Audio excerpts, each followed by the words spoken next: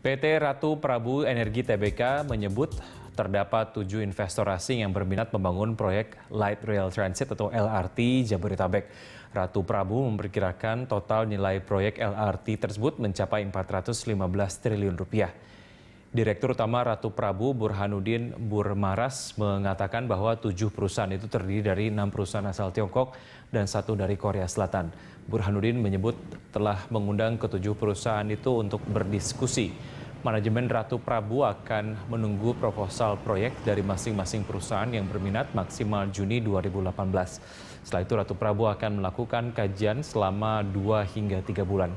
Untuk itu, manajemen Ratu Prabu akan langsung mengunjungi negara asal masing-masing investor yang berminat menjadi kontraktor dan mendanai pembangunan LRT.